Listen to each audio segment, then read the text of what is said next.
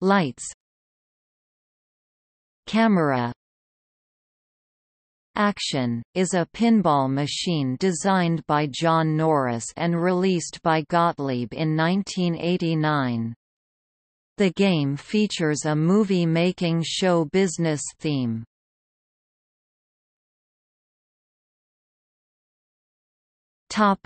Description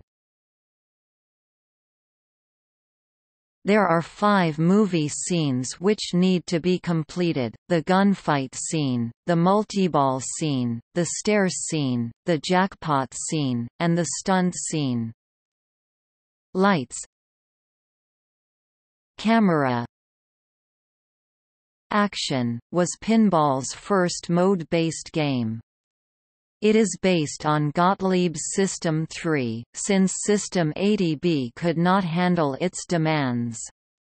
The design was originally a card game. The spinner draw card feature was retained, but the rest of the pinball machine rules were adapted rules from the cancelled pinball machine Red Alert. The pinball machine has a mechanical backbox animation in which handguns raised in a draw.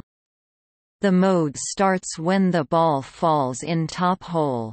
The player has to press the right flipper to beat the villain. At the top of the backbox are colored floodlights. The upper left of the playfield contains a rotating mini playfield.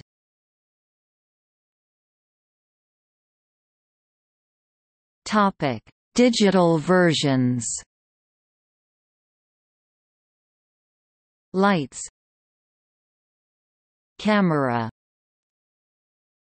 Action, is available as a licensed table of the Pinball Arcade for several platforms.